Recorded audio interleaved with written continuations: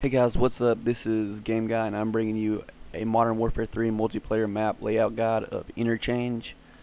So let's get started. I'm gonna call this, you know, the green spawn. I'll call this one the red spawn.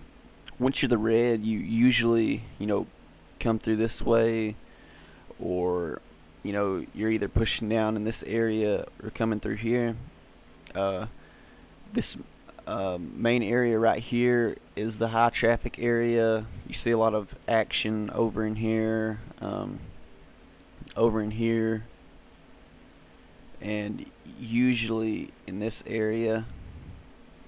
So what I'm gonna you know show you is a way to you know counter this area. If you're the green, you're gonna want to start out and come under this you know the highway bridge right here, and you can uh, jump up on top of this uh, trailer that's holding this Humvee, you can easily you know get a get uh, you know shots off you know into this direction and fire you know you know fire your weapon and kill any of the guys that spawned over here. And then you know there'll be some guys here so you got to watch out you know look over on this way. If not go ahead and push up through here and uh, you know get into this area. Once you get over here you can you know swap the spawns. You know the red has more cover on this side so you're probably going to want to you know swap the spawns.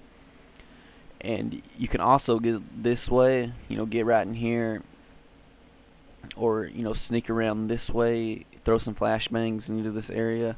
But you have to watch out because they have some good cover over in this area if you want to, you know, take it over.